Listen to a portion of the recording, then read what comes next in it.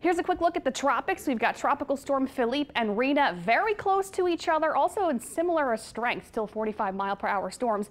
They're going to kind of move pretty close to each other and play a part in each other's uh, future evolution. But no matter what happens, they're going to avoid the Caribbean and avoid any land areas, which is really great news.